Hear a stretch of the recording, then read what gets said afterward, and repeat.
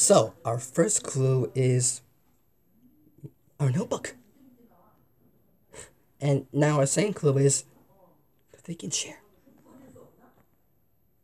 So, what could Blue have invented with our notebook and the thinking chair?